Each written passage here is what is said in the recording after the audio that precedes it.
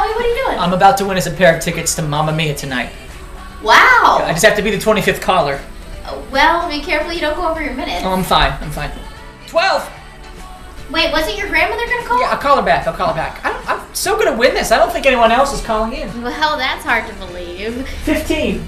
Wait, but didn't we have dinner reservations? That was hard to get. I canceled them. When else can we see Mamma Mia Center Orchestra? Oh, great seat. I know, and we won't have to spend the money, money, money to see it. Oh, yeah, that's from the show. 21.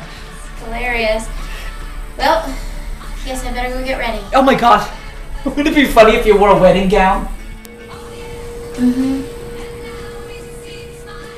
You know, most people go for the songs, but I love the story. I mean, three possible guys could be your father. That's insane. Hello, am I the 25th caller? Sarah, I won! Oh, shoot, I lost the connection.